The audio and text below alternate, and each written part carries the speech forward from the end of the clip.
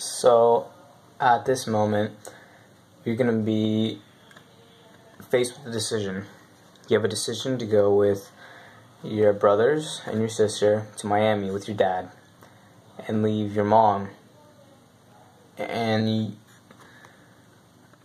I feel like the best for you, I'm speaking to you, Ricky, because if you're listening to this, it's because you're doubting yourself and maybe you feel it's your fault or you regret it. So I need you to do something. Right now, it's your best interest to move there. Not for your mom, not for Dani, not for Didi's, not for David. You have to do it for yourself. You have wasted 16 years giving to others. You have to, first of all, think about yourself. And you have to promise me that you're not going to let this decision haunt you for the rest of your life. You're trying to do what's best for you. You're not trying to harm anybody. I know if you could, you'd stay, but there's no other choice. I mean, you're not in school, you're going downhill, you're not having any friends. I mean, you have to do this. And both of us, future you and past, present, know that it's the right choice. So, I mean, there shouldn't be really any reason that you're doubting yourself unless something really bad happened with mom, which I'm sure would be devastating. But you can't blame yourself. You couldn't falter, you couldn't risk your life, you couldn't have your whole life sucked because of another person. You had to you have to live your life. Learn to make decisions like these that could either haunt you but you can't let it haunt you. You have to keep moving forward. There's going to be a point where there's going to be another decision like this. Maybe it's leaving a girlfriend, maybe it's leaving your family to do what you have to do. And I'm telling you right now, you have to do it.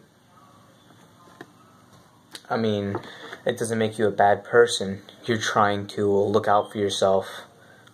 And I know that you, if you could, you'd look out for everybody else. But you can't waste your life. You have to be selfless at moments, but you also have to learn how to stand up for yourself and what you deserve. And work hard for the things that you want to do. So, right now, as I'm doing this, uh, February, I think the 19th or 20th, 2016, I want to do something with my life. I'm not sure what it is but I can't do it here. The only decision I have is moving to Florida. That's the only decision I have. I mean, I could stay here, maybe go back to school, but I wouldn't be happy. I'd make my mom happy, but I wouldn't make myself happy. And I would waste another two years, don't go to college, maybe get a horrible job. I already know where my life is headed. I am smart enough to figure that out. I am not trying to play this blindly. I'm trying to play this as tactically as I can. And I know that I could probably get a successful job and meet some people. But right now I can't. And it's, I guess, selfish, but I can't waste my life. I can't live if I'm not happy doing what I want to do. So, yeah, trust me on this moving to Florida was the right decision. Do not blame yourself for whatever happens.